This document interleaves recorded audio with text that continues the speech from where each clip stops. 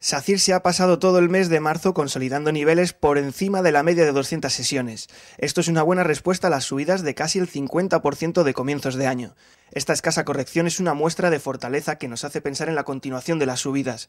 Estaremos muy atentos a un cierre por encima de los 4,20 euros, ya que esto nos confirmaría la fina consolidación del corto plazo y nos haría pensar en la continuación de las subidas. El objetivo de subida lo podríamos situar en los 4,67 euros, precios que creemos que no le costaría alcanzar si al final vemos una definición alcista de su serie de precios. Por abajo es muy importante que vigilemos el nivel de los 3,80 euros, niveles en donde se encuentra la media de 200 sesiones. Solo el abandono de este nivel de precios nos haría pensar en una complicación de su magnífico aspecto técnico.